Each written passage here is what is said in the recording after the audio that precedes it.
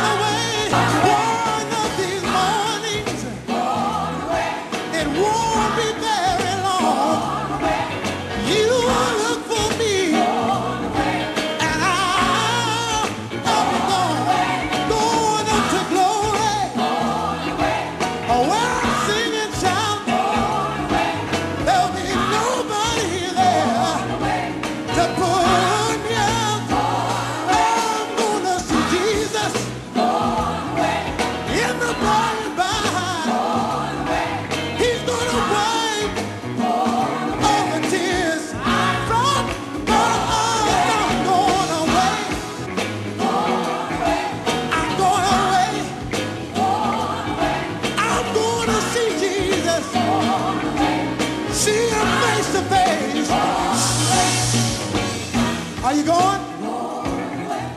Are you going? Because if you want to go, can't no devil in hell stop you from going. And it don't matter what you're going through right now. We have that blessed hope that we're going to a place. We're going to a place where we can see Jesus face to face. And you see there, there'll be no more suffering.